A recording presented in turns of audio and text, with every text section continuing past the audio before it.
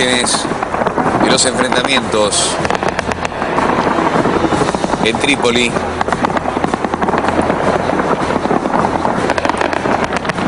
Donde en las últimas horas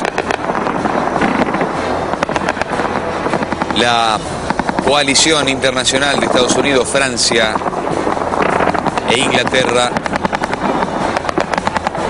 lanzaron un centenar de misiles crucero sobre la capital y otros objetivos en territorio libio. La primera incursión fue la de un avión francés que destruyó cuatro tanques.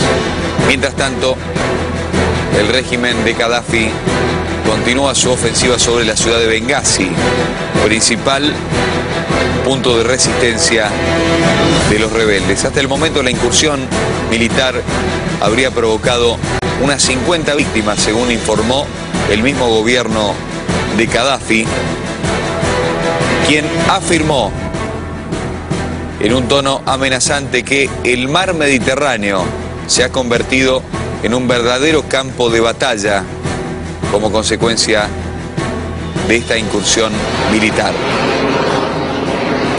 Gaddafi también dijo que no dudará en atacar objetivos civiles y militares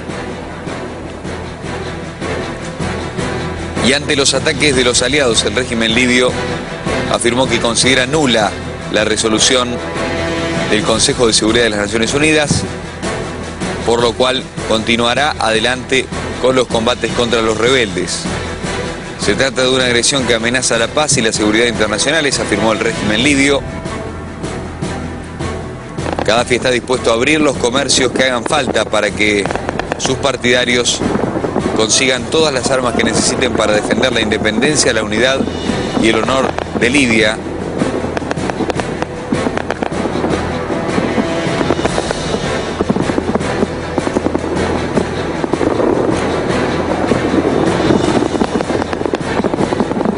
Los combates en las últimas horas en Libia, donde los aliados anunciaron que la operación será limitada y que no se desplegarán tropas en el territorio, no habrá una invasión, sino en principio lo que parece ser simplemente incursiones aéreas en los próximos días.